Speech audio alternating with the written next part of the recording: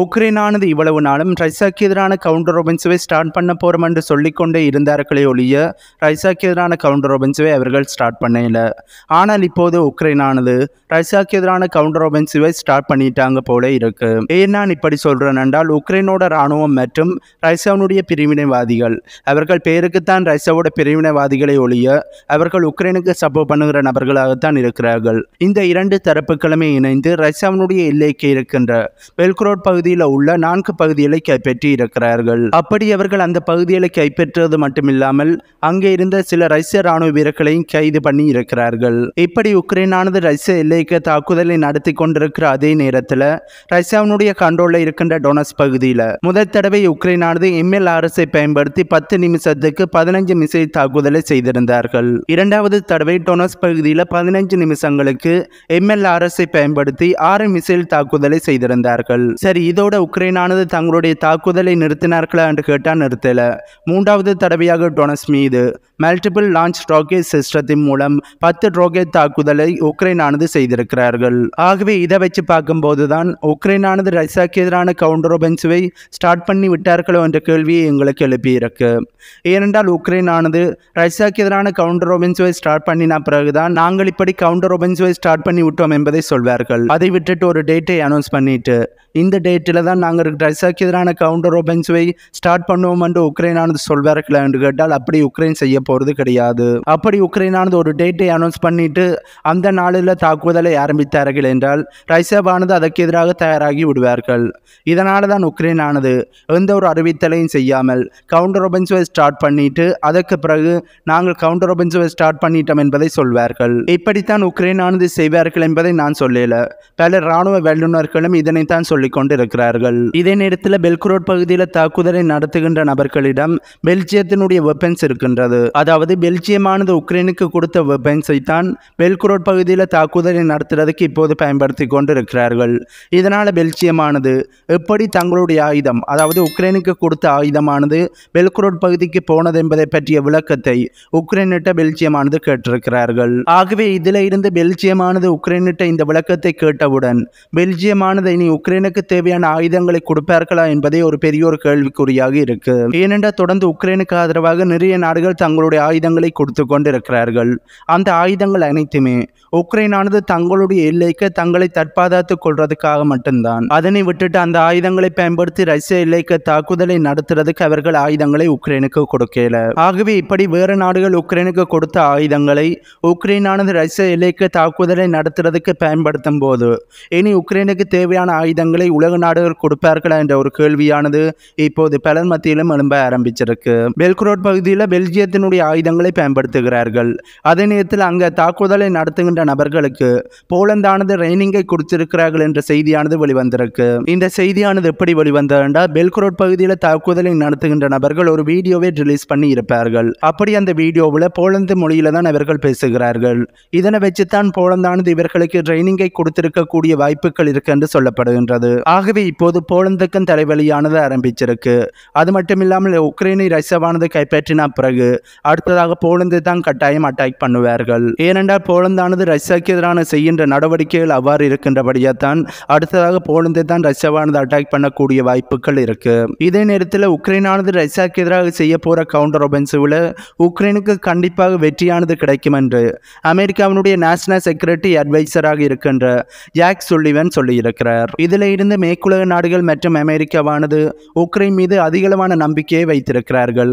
அந்த நம்பிக்கையை உக்ரைனானது காப்பாற்றுவார்களா என்பதை இந்த கவுண்டர் ஒபன்ஸ் முடிந்த பிறகு எங்களுக்கு தெரிய வரும். அதாவது ரஷ்யாக்கு எதிரான கவுண்டர் ஒபென்சிவ்ல உக்ரைனானது வெற்றி பெற்றார்கள் என்றால் மேற்குலக நாடுகளோட நம்பிக்கையை உக்ரைனானது காப்பாற்றினார்கள் என்று எடுத்துக்கொள்ள முடியும். அதே நேரத்தில் இந்த கவுண்டர் ஒபென்சிவ்ல உக்ரைனானது தோல்வி அடைந்தார்கள் என்றால் மேற்குலக நாடுகளோட நம்பிக்கையை உக்ரைனானது காப்பாற்றலை என்ற முடிவுக்கு நாங்கள் வர முடியும். சரி அப்படி என்றால் உக்ரைன் ரஷ்யாவுக்கு எதிராக செய்ய போற கவுண்டர் ஒபென்சிவ்ல ரஷ்யாவுக்கு தோல்வியானது ஏற்படுமா என்று கேட்டால் ரஷ்யாவுக்கு சில பின்னடைவுகள் ஏற்படுமே ஒழிய ரஷ்யாவானது ஃபுல்லாக உக்ரைன்ல இருந்து வெளியேறுவார்களா என்று கேட்டால் கட்டாயம் வெளியேற போவதில்லை. ஆனால் எனக்கு இதுல என்ன கேள்வியானது எழும்பியிருக்கின்றால் இப்படி உக்ரைனானது ரைசாக்கு எதிராக செய்ய போற கவுண்டர் ஒபென்சிவ்ல ரஷ்யாவானது எப்படி பின்வாங்குவார்கள் என்று மேற்குலக நாடுகள் நம்பிக்கொண்டிருக்கிறார்கள் என்பதுதான் என்னுடைய கேள்வியாக இருக்கு. ஒன்றில் உக்ரைனானது ரஷ்யாக்கு எதிரான கவுண்டர் ஒபென்சிவ்ல பெருசா ஏதாவது ஒரு விஷயத்தை செய்யக்கூடிய வாய்ப்புகள் இருக்கு. அப்படி இல்லாட்டி மேற்குலக நாடுகளுக்கு கொஞ்சம் அறிவானது குறைவாக இருக்குன்னு தான் சொல்ல முடியும். ஏனென்றால் இந்த ஒரே ஒரு கவுண்டர் ஓபன்ஸை வைத்து ரைசாவை பின்வாங்க வைத்து விடலாம் என்று இவர்கள் நினைக்கிறார்கள். அதனை நாங்கள் வெயிட் பண்ணி தான் பார்க்க வேண்டும். ரைசாக்கு இந்த கவுண்டர் ஓபன்ஸுவால் பின்னடைவு ஏற்படுகின்றதா ரைசாவானது இந்த கவுண்டர் ஓபன்ஸையும் தாண்டி உக்ரைன் மீது கடுமையான தாக்குதலை செய்ய போறார்களா என்பதை இதனை பற்றி உங்களோட கருத்துக்களை கீழே கமெண்ட் பண்ணுங்க. இது போன்ற ரைசாக்கும் உக்ரைனுக்கும் இடையிலான போரை பற்றிய தகவல்கள் மற்றும் முக்கியமான உலக நிகழ்வுகளை தான் இந்த வீடியோவில் பார்க்க போறோம். வீடியோக்குள்ள போறதுக்கு முன்னம் ரைசாக்கும் உக்ரைனுக்கும் இடையிலான போரை பற்றிய தகவல்களை உடனுக்குடன் தெரிந்து கொள்றதுக்கும் உலகத்தில் நடக்கின்ற முக்கியமான நிகழ்வுகளை உடனுக்குடன் தெரிந்து கொள்றதுக்கும் நம்ம சேனலை சப்ஸ்கிரைப் பண்ணி பக்கத்து பெல்லைக்கானையும் பெல் கிளிக் பண்ணி வையுங்கள். அது மட்டும் இல்லாமல் நாம் போடுகின்ற வீடியோக்களை பற்றிய உங்களோட கருத்துக்களையும் கீழே கமெண்ட் பண்ணுங்கள். அப்படி நீங்கள் இந்த இரண்டு விஷயங்களையும் செய்யும் போது அது எனக்கு மோட்டிவேஷனாக இருக்கும். ஆகவே இதனை நீங்கள் செய்வீங்கள் என்று நான் நம்புகிறேன் வாங்க இப்போ வீடியோக்குள்ளே போகலாம் செச்சன் ஆர்மியோட தலைவர் பெல்க்ரோட் பகுதியில் ஊடுருவிய தீவிரவாதிகளை அழிக்கிறதுக்கு சேச்சன் ஆர்மியானது தயாராக இருக்கிறோம் என்று சொல்லியிருக்கிறார். சேச்சன் ஆர்மியில் ரஷ்யாவினுடைய பெசல் போஸ் யூனிவர்சிட்டியில் ட்ரைனிங் எடுத்த எழுபதனாயிரத்துக்கும் அதிகமான ராணுவ வீரர்கள் இருக்கிறார்கள். இவர்கள் ரஷ்யாவினுடைய பிரசிடண்டாக இருக்கின்ற புடின் அவர்களோட ஓடருக்காண்டி வெயிட் பண்ணி கொண்டிருக்கிறார்கள். அப்படி புடின் அவர்கள் மட்டும் பெல்குரோட் பகுதியை திரும்ப கைப்பற்றுவதற்காண்டியும் அங்கே இருக்கிற தீவிரவாதிகளை அழிப்பதற்காண்டியும் ஒரே ஒரு ஓர்டரை இந்த சேச்சன் ஆர்மிக்கு கொடுத்தார்கள் என்றால் சேச்சன் ஆர்மியானது அங்கே போய் போராட தயாராக இருக்கிறார்கள். இதே நேரத்தில் பெல்குரோட் பகுதிக்கு ரஷ்யாவானது வேக்னா குழுவை அனுப்ப போறார்கள் என்ற ஒரு செய்தியும் வெளிவந்திருக்கு. ஆகவே பெல்குரோட் பகுதியை மீட்கிறதுக்கு செச்சன் ஆர்மியும் தயாராக இருக்கிறார்கள். மறுபக்கம் வேக்னா குழுவும் தயாராக இருக்கிறார்கள். இரண்டு தரப்புமே ஒரே ஒரு ஆர்டருக்காண்டி தான் வெயிட் பண்ணி கொண்டிருக்கிறார்கள். ஆனால் ரஷ்யாவை பார்த்து எனக்கு ஒரே ஒரு கேள்வி தான் கேட்க தோணுது. ஏற்கனவே பெல்குரோட் பகுதியில் உக்ரைனானது தாக்குதலை நடத்தி இருந்தார்கள். அப்பவே ரஷ்யாவானது சரியான முடிவுகளை எடுத்து எப்படியாவது இனி பெல்குரோட் பகுதியில் தாக்குதலை நடத்தாத மாதிரி செய்திருந்தார்கள் என்றால் இப்போது பெல்குரோட் பகுதியில் இருக்கின்ற நான்கு பகுதிகளை உக்ரைனோட இராணுவமாக இருக்கட்டும் ரஷ்யாவினுடைய பிரிவினைவாதிகளாக இருக்கட்டும் அல்லது ரஷ்யா சொல்ற மாதிரி தீவிரவாதிகளாக இருக்கட்டும் அவர்கள் அதனை பிடித்திருக்க மாட்டார்கள். ஆனால் ரஷ்யாவானது அப்படியான முடிவுகளை எடுக்கல என்பதுதான் என்னுடைய கேள்வியாக இருக்கு. என்னதான் இப்போது பெல்குரோட் பகுதியில் வந்த நபர்களை ரஷ்யாவானது எப்படியுமே அழித்து விடுவார்கள்?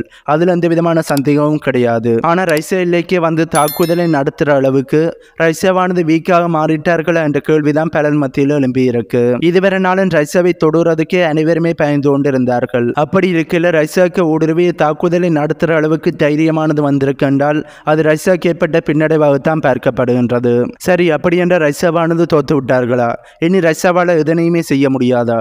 உக்ரைனோட கவுண்டர் ஒபென்சு பெல்குரோட் பகுதியில் தாக்குதல் நாட்டோ நாடுகள் மேற்குலக நாடுகள் உக்ரைனுக்கு உதவி செய்கின்ற நாடுகள் இப்படி அனைத்துமே ரஷ்யாவுக்கு எதிரான நடவடிக்கையில் ஈடுபட்டு கொண்டு இருக்கிறார்கள் இப்படி இருக்கையில் ரஷ்யாவானது ஒரு சிறப்பான சம்பவத்தை செய்திருக்காங்க.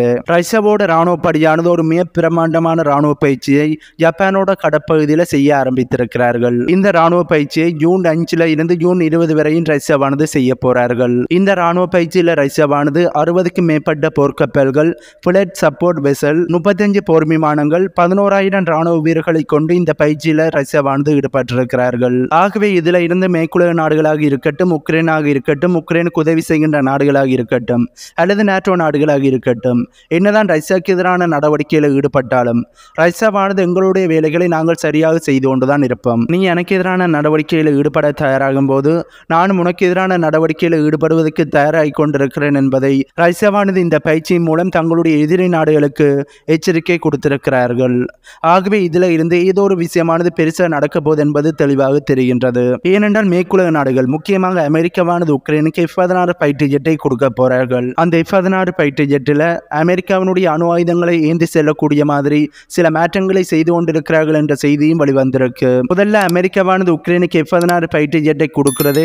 ரஷ்யாவை நேரடியாக போருக்கு அழைக்கிறதுக்கு சமமாக இருக்கு. அதிலேயும் அமெரிக்காவினுடைய அணு ஆயுதங்களை பொருத்தக்கூடிய மாதிரி வடிவமைப்பை செய்கிறது. ரஷ்யாவுக்கு உறுதியாக தெரிஞ்சிருக்கும். அமெரிக்காவானது ரஷ்யாவோட போர் செய்யறதுக்கு தயாராகி கொண்டிருக்கிறார்கள் என்பது. அமெரிக்காவானது ரஷ்யாவோட போர் செய்யறதுக்கு தயாரானாலே நேட்டோவானது ரஷ்யாவோட போர் செய்கிறதுக்கு தயாராகிறார்கள் என்று அர்த்தம். ஆகவே நேட்டோவானது ரஷ்யாவுக்கு எதிராக போர் செய்கிறதுக்கு தயாராகும் போது அதனை ரஷ்யாவானது வேடிக்கை பார்த்து கொண்டு இருக்க முடியுமா? ரஷ்யாவும் அதுக்கு எதிரான போர் செய்ததுக்கு தயாராகித்தானே ஆகணும்.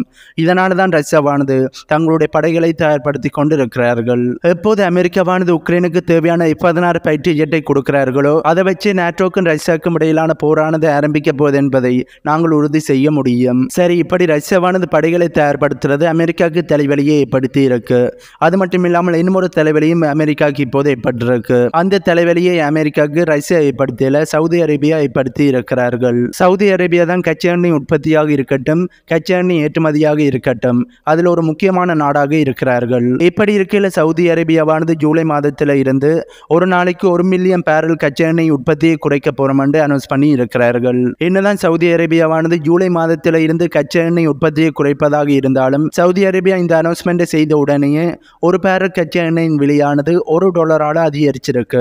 இப்பதான் சவுதி அரேபியாவானது கச்சா எண்ணெய் உற்பத்தியை குறைக்க போறோம் என்ற அனௌன்ஸ்மெண்ட் செய்திருக்கிறார்களா என்று கேட்டால் இந்த ரஷ்யாவுக்கும் உக்ரைனுக்கும் இடையிலான போர் ஆரம்பித்த பிறகு கன தடவை சவுதி அரேபியாவானது தாங்கள் கச்சா எண்ணெய் உற்பத்தியை குறைக்க போறோம் என்ற அனௌன்ஸ்மெண்ட்டை செய்திருந்தார்கள். இப்படி ஒவ்வொரு தடவையும் சவுதி அரேபியாவானது கச்சா எண்ணெய் உற்பத்தியை குறைக்க போறோம் என்ற அனௌன்ஸ்மெண்ட்டை செய்யும் போது ஒரு பேரல் கச்சா எண்ணெயின் விலையானது அதிகரிக்கும். இப்படி ஒவ்வொரு தடவையும் கச்சா எண்ணெயின் உற்பத்தியை குறைக்கும் போது கச்சா எண்ணெயின் விலையானது ஆட்டங்காண ஆரம்பிக்கும். ஆகவே இப்படி சவுதி அரேபியாவானது கச்சா எண்ணெய் உற்பத்தியை குறைக்கிறது அமெரிக்காவுக்கு இன்னும் ஒரு தலைவலியை ஏற்படுத்தி இருக்குன்னு தான் சொல்ல முடியும். சரி உக்ரைனானது ரஷ்யாவுக்கு எதிரான கவுண்டர் ஓபன்ஸை ஸ்டாப் பண்ணி விட்டார்கள் என்றால் இப்போது உக்ரைன் செய்த தாக்குதலில் உக்ரைனுக்கு வெற்றியானது கிடைச்சதா என்ற கேள்வியானது உங்களுக்கு எழும்பியிருக்கும் இதற்கான பதிலானது ரஷ்யா தரப்பில் இருந்து சொன்னதையும் படி பார்த்தால் உக்ரைனுக்கு எதிராக தோல்விதான் ஏற்பட்டிருக்கு. அதாவது உக்ரைனோட ராணுவமானது சவுத் டொனஸ்கில் இருக்கிற ஐந்து செக்டார் மீது ஃபுல் ஸ்கேல் ஒபென்சு தாக்குதலை செய்திருக்கிறார்கள். ஆனால் ரஷ்யாவினுடைய ராணுவமானது அதனை தடுத்திருக்கிறார்கள் என்றும் இந்த தாக்குதலின் முடிவில் உக்ரைனோட ராணுவத்தை சேர்ந்த இருநூற்றி ஐம்பது ராணுவ வீரர்கள் கொல்லப்பட்டிருக்கிறார்கள் என்றும் உக்ரைனோட பதினாறு டேங்கில் மூன்று இன்ஃபான்டி ஃபைட்டிங் வெஹிக்கிள் இருபத்தோரு அன்மேன் வெஹிக்கிள் என்பவற்றை ரஷ்யாவோட ராணுவமானது டிஸ்ட்ராய் பண்ணி இருக்கிறார்கள் என்று ரஷ்யாவினுடைய டிஃபென்ஸ் மினிஸ்ட்ரியானது சொல்லியிருக்கிறார்கள். இப்படி உக்ரைனோட ஒபென்சிவானது தோல்வி அடைந்துட்டது அதனை ரஷ்யாவினுடைய ராணுவ வீரர்கள் தடுத்து நிறுத்தி விட்டார்கள் என்பதை ரஷ்யா தரப்பில் இருந்து சொல்லியிருந்தால் நாங்கள் நம்பியிருக்க தேவையில்லை. ஆனால் ரஷ்யாவினுடைய டிஃபென்ஸ் மினிஸ்ட்ரியானது சொன்னபடியால் அது ஒபீசியலான செய்தியாக நாங்கள் எடுத்துக்கொள்ள முடியும். அது மட்டும் இல்லாமல் உக்ரைனானது ரஷ்யா எல்லைக்கு இருக்கின்ற குர்ஸ்க் ரீஜன் மீது ட்ரோன் தாக்குதலை செய்ய முற்பட்டிருக்கிறார்கள். அதனை ரஷ்யாவினுடைய எல்லை பாதுகாப்பு வீரர்கள் சுட்டு உறுத்தி இருக்கிறார்கள் என்றும் ரஷ்யா தரப்புல இருந்து சொல்லியிருக்கிறார்கள். ஓகே ரஷ்யாவோட கண்ட்ரோலில் இருக்கின்ற பகுதி மீது உக்ரைனானது தாக்குதலை நடத்தி இருக்கிறார்கள். அப்படி என்ற ரஷ்யாவானது உக்ரைன் மீது தாக்குதலை நடத்தலையா என்று பார்த்தோம் என்றால் ரஷ்யாவும் உக்ரைன் மீது தாக்குதலை நடத்தித்தான் இருக்கிறார்கள். அப்படி ரஷ்யாவானது என்ன தாக்குதலை மேற்கொண்டார்கள் என்பதை இப்போது பார்க்கலாம். ரஷ்யாவானது சுமி ஒப்பலாசி மீது செல் தாக்குதலை மேற்கொண்டிருக்கிறார்கள். இதில் சுமி ஒப்பலாசில் இருந்த இரண்டு நபர்கள் காயமடைந்திருக்கிறார்கள் என்று உக்ரைனோட லோக்கல் மீடியாக்கள் ரிப்போர்ட் பண்ணி இருக்காங்க இதே நேரத்தில் ரஷ்யாவானது உக்ரைன் மீது எட்டு சாகித் ட்ரோன்ஸ் மற்றும் ஆறு கேஎச் நூற்றி ஒரு மிசைலையும் உக்ரைன் மீது லான்ச் பண்ணி இருக்கிறார்கள் இதில் ஆறு ட்ரோன்ஸ் மற்றும் நான்கு மிசைல்களை சுட்டு வீழ்த்தி இருக்கிறோம் என்றும் கார்கிவ் மேல ரஷ்யா மேற்கொண்ட செல் தாக்குதலில் இரண்டு நபர்கள் கொல்லப்பட்டிருக்கிறார்கள் மூன்று நபர்கள் காயமடைந்திருக்கிறார்கள் என்றும் உக்ரைன் தரப்புல இருந்து சொல்லியிருக்கிறார்கள். மெரிங்கா பகுதியில் இருக்கிற உக்ரைனோட ராணுவ வீரர்கள் மற்றும் போரின் மெசனரிஸ் மீது ரிசவோட சேச்சன் ஆர்மியானது ஃபுல் ஸ்கேல் ஒபென்சு தாக்குதலை செய்திருக்கிறார்கள். இதில் உக்ரைன் தரப்பில் கடுமையான சேதங்கள் ஏற்பட்டிருக்கின்றும். மரிங்கா பகுதியில் எண்பது சதவீதமான பகுதிகளை ரஷ்யாவானது கைப்பற்றி இருக்கிறோம் என்று ரஷ்யா தரப்பில் இருந்து சொல்லியிருக்கிறார்கள். அடுத்ததாக ரஷ்யாவினுடைய போர்க்குணம் தான் கிழக்கு பகுதியில் நாட்டோவினுடைய விரிவாக்கம் நடைபெறுவதற்கு காரணமாக இருக்கென்று காயா கலாஸ் அவர்கள் சொல்லியிருக்கிறார். அதாவது எஸ்தோனியாவினுடைய பிரைம் மினிஸ்டராக இருக்கிற காயா கெலாஸ் அவர்கள் சொல்லியிருக்கிறார். காயா கெலாஸ் அவர்களுக்கு நாட்டோவானது உருவாக்கப்பட்டதன் நோக்கமானது அது தெரியாமல் இருக்க போல இருக்கு. நாட்டோவானது சோவியத் யூனியன் ரஷ்யாவை அடக்குவதற்காண்டு தான் உருவாக்கப்பட்டது. என்னதான் சோவியத் யூனியனானது பிளவுபட்டிருந்தாலும் அதற்கு பிறகு ரஷ்யாவை அடக்கணும் என்றதுக்காண்டு தான் நாட்டோவானது செய்யப்பட்டு கொண்டு இருக்கிறார்கள் என்னதான் ரஷ்யாவானது எந்த நாட்டோடையும் வம்பிழுக்காமல் இருந்தாலும் நாட்டோவானது தங்களுடைய விரிவாக்கத்தை செய்து கொண்டுதான் இருக்கிறார்கள். அது மட்டும் இல்லாமல் நாட்டோவினுடைய இந்த விரிவாக்கம் தான் உக்ரைன் மீது ரஷ்யாவை போர் செய்ததற்கு தூண்டி இருக்கென்றே சொல்ல முடியும். இந்த ரஷ்யாவுக்கும் உக்ரைனுக்கும் இடையிலான போர் ஆரம்பித்ததுக்கு முக்கியமான காரணமே உக்ரைனானது நாட்டோவில் இணைய போற போறோம் என்று சொன்ன ஒரே ஒரு வார்த்தை தான் ரஷ்யாவானது தங்களுடைய நாட்டை பாதுகாக்கணும் என்று நினைக்கிறார்கள். ஆனால் நேட்டோவினுடைய விரிவாக்கமானது ரஷ்யாவினுடைய பாதுகாப்புக்கு அச்சுறுத்தலாக இருக்கின்றது. இதனால் ரஷ்யாவுக்கு வேறு வழி கிடையாது. அவர்கள் போர் செய்துதான் ஆகணும். இது கூட தெரியாமல் எஸ்தோனியாவுடைய பிரைம் மினிஸ்டராக நீங்க இருக்கிறீங்கள் என்னத்தை சொல்லன்னு எனக்கு தெரியல. அடுத்ததாக தைவானோட பிரச்சனையானது சீனாவினுடைய இன்டர்னல் பிரச்சனை என்றும் அதில் வெளிநாடுகள் தலையிடுவதை ஏற்றுக்கொள்ள முடியாது என்று சிங்கப்பூரில் நடந்து கொண்டிருக்கிற ஏசியன் செக்யூரிட்டி கான்ஃபரன்ஸில் சீனாவினுடைய டிஃபென்ஸ் மினிஸ்டர் சொல்லியிருக்கிறார். ஆகவே இதில் இன்று சீனாவானது தைவானை தங்களுடைய நாட்டில் ஒரு அங்கமாகத்தான் நினைத்து கொண்டிருக்கிறார்கள். என்னதான் சீனாவானது இப்படி சொன்னாலும் அமெரிக்காவானது சீனாவை அழிக்கிறதுக்காண்டி தைவானுக்கு உதவி செய்துதான் ஆவார்கள். எப்படியாவது தைவானை பயன்படுத்தி சீனாவை அழிக்கணும் என்ற முடிவில் தான் அமெரிக்காவானது இருந்து கொண்டு இருக்கிறார்கள் அது மட்டுமில்லாமல் தைவானானது எந்த நாட்டு பக்கம் இருக்கிறார்களோ அவர்கள் தான் வருகின்ற இருபது வருஷங்களுக்கு சிப் ஏற்றுமதியில் நம்பர் ஒன் நாடாக இருப்பார்கள்.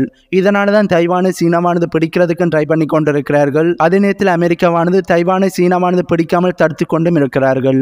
இதில் இரண்டு நாடுகளுக்கும் லாபம் இருக்கின்றபடியாக தான் இரண்டு நாடுகளுமே இதில் முயற்சி செய்து கொண்டு இருக்கிறார்கள் இதனை பற்றி உங்களோட கருத்துக்களை கீழே கமெண்ட் பண்ணுங்க. இது போன்ற ரஷ்யாவுக்கும் உக்ரைனுக்கும் இடையிலான போரை பற்றிய தகவல்கள் மற்றும் முக்கியமான உலக நிகழ்வுகளை தெரிந்து கொள்ள நம்ம சேனலை சப்ஸ்கிரைப் பண்ணி பக்கத்து இருக்கிற பெல் கிளிக் பண்ணி வையுங்கள். அப்போது தான் நான் போடக்கூடிய வீடியோஸை நீங்கள் உடனுக்குடன் பார்க்க முடியும். இன்னும் ஒரு வீடியோவில் உங்களை வந்து சந்திக்கின்றேன்.